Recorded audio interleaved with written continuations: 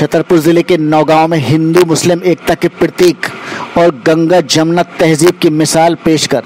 लगभग 40 वर्षों से नगर के मेन बाज़ार में एक छोटी सी टूटी फूटी सिलाई की दुकान खोले।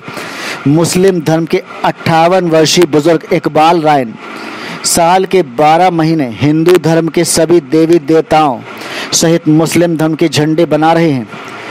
इन दिनों नवरात्र का पर्व चल रहा है। जिसके चलते बुज़ुर्ग इकबाल राय ने सभी पंडालों में विराजमान माता रानी के लिए झंडे बनाए हैं।